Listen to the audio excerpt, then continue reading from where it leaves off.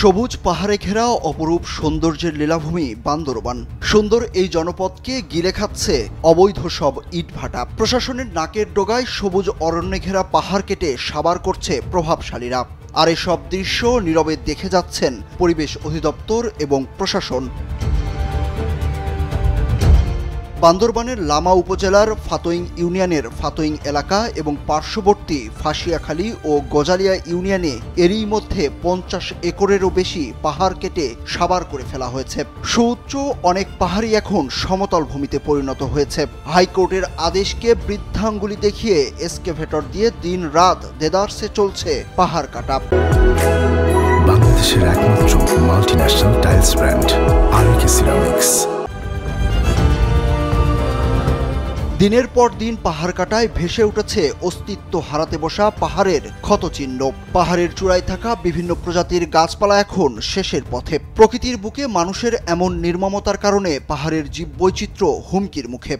আমি সরকার কাছে অনুরোধ করব, পরিবেশ বিপর্যয়, মানবিক বিপর্যয় এবং পাহাড়ের বৃক্ষনিধন বন্ধ করার জন্য এই সমস্ত ইটবাটাসমূহ যেন অচিরেই বন্ধ করে দেওয়া হয়।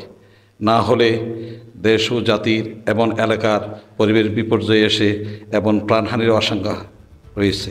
পাহাড় কাটার বিষয়টি ফাতোইং ইটভাটা মালিক সমিতির সভাপতি মুক্তার হোসেনের কাছে জানতে চাওয়া হলে খুব অবলীলায় স্বীকার করলেন তিনি। বললেন, লুকানোর কিছু নেই। পাহাড় না কাটলে ইটভাটা চলবে কীভাবে? পাহাড় গুলি এখানে তো আসলে ধরতে গেলে তো বড় ধরনের কোনো পাহাড় নাই, কিছু গর্ত মত্ত এগুলো আছে, ওখান থেকে কিছু মাটি টাটি করে অত টুকিটাকি পাহাড়ও কাটতে পারে, পাহাড় মানে সুপ্ত পাহাড় আর কি। এটা তো এটা তো লোকানো জিনিস না, এটা তো লোকানো জিনিস না ভাই, মিথ্যে বলে লাভ কি আছে? পাহাড় ধ্বংসকারীদের বিরুদ্ধে কেন ব্যবস্থা নেওয়া হচ্ছে না, জানতে চাইলে লামা উপজেলা নির্বাহী কর্মকর্তা মোহাম্মদ মোস্তফা জাবেদ কাইসার বলেন। বিষয়টি শোনার পর অভিযান চালিয়ে পাহাড় কাটার প্রমাণ পাওয়া গেছে। এরপর কয়েকটি ইটভাটাকে জরিমানা করা হয়েছে। তো পাহাড় কাটা বা ইটভাটা স্থাপন এই বিষয়গুলো যেহেতু আইনগতভাবে এগুলোর কোনো বৈধতা নেই, ওই হিসেবে আমাদের এই অভিযানগুলো সামনের সময়গুলোতে অব্যাহত থাকবে। ইতিপূর্বে আমরা বেশ কয়েকটি অভিযান করেছি এবং সামনের সময়গুলোতেও এই অবৈধ কাজগুলোর বিরুদ্ধে আমাদের অভিযান অব্যাহত থাকবে। পরিবেশ অধিদপ্তরকে ম্যানেজ করে পাহাড় কাটার অভিযোগ অস্বীকার করেছেন জেলা পরিবেশ অধিদপ্তরের সহকারী পরিচালক ফখরুদ্দিন আহমেদ। তার দাবি, এইসব মিথ্যা। কোনোভাবেই ইটভাটার এইসব প্রভাবশালীদের থামানো যাচ্ছে না বলে জানান তিনি। যারা অপরাধ করবে তারা বাঁচার জন্য অনেক কথা বলবে। আপনারা যদি এগুলো আমলে নেন, তাহলে এর চেয়ে কষ্টকর ছাড়া আর কিছু না, ঠিক আছে?